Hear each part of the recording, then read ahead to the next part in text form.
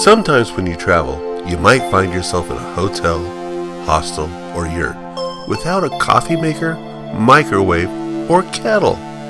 How can you enjoy your morning coffee or relaxing cup of tea before bed? The answer?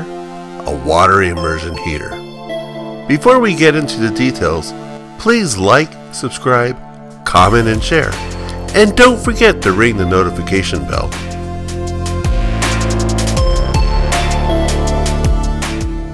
A travel immersion heater will let you make hot water anywhere you have a power supply. In just a couple of minutes, you can enjoy a hot tea, cocoa, or a cup of noodles. You could also make instant coffee.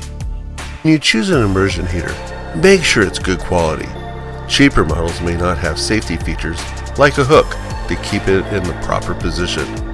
Make sure to choose a model rated from 100 volts to 240 volts so you can use it anywhere in the world.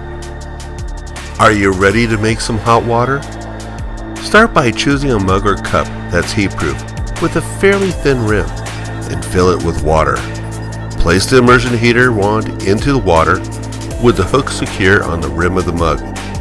Never plug the immersion heater in before it's immersed in the water and don't use it with any liquid other than water.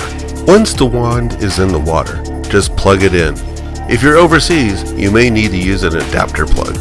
Most immersion heaters will automatically begin to heat up as soon as they are plugged in. Just sit back and let the heater work its magic. In a few minutes, you'll have water that's just the right temperature for your favorite hot drink.